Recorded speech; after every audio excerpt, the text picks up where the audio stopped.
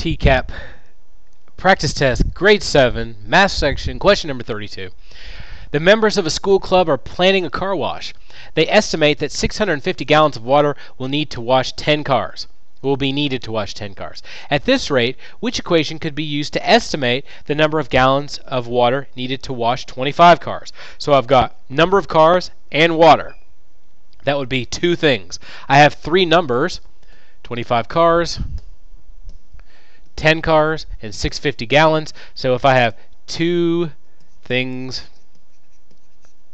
three numbers, and I need the fourth, the 2, 3, 4 thing means set it proportion, right? And the idea of setting up a proportion is I need to set one fraction up for one situation and one fraction up to the other and set them equal to each other.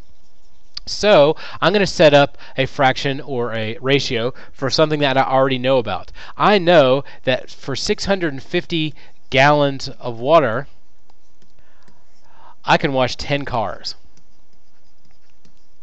Now, I don't know if you've seen some of the other videos, but in one of the videos I talk about setting a proportion kind of like managing an insane asylum. In an insane asylum, in many of them anyway, especially in the older ones like uh, that we have around here, you have two types of people. You'll have the regular people who, you know, just need therapy, and then you have the criminally insane. You do not want to house them in the same exact place because one could manipulate the other. It's a bad situation. So we used to talk about keeping people who are dangerous on one floor and people who are uh, quote unquote safe on the other floor. So you need to keep them on the same level in each of your fractions.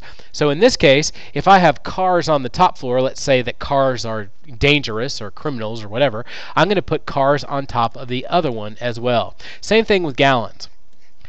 I know in this situation that 25 cars goes on top and then X on the bottom. I'm going to look to, or G, I should say, not X. I don't know why I chose X there. I always choose it, I think. G gallons.